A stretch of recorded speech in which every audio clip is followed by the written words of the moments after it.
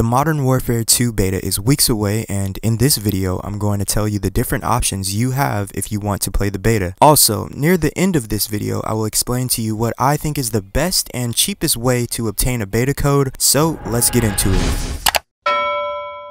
First and foremost, PlayStation users have earlier access dates than other platforms, so let's start off with them. PlayStation users have two options to play the Modern Warfare 2 beta. Option number one, pre-order the game and obtain a beta code for early access to the beta starting on September 16th, ending on the 17th. Option number two, don't pre-order the game and play for free starting on September 18th, ending on the 20th. Moving on, users on all other platforms also have two options. Option number one, you can pre-order the game and gain a beta code for the all platform pre-order beta event starting September 22nd, ending on the 23rd. Or you can go with option number two and don't pre-order the game and play the all platform open beta for free starting September 24th, ending on the 26th. With all that being said, if for whatever reason you don't want to spend $70 this early just for the beta code, all you have to do is simply go to your local GameStop, pay the minimum of $5 to pre-order the game, and on the receipt that you'll receive after you pay, there will be a 13-digit code with directions that will tell you how to redeem the actual beta code,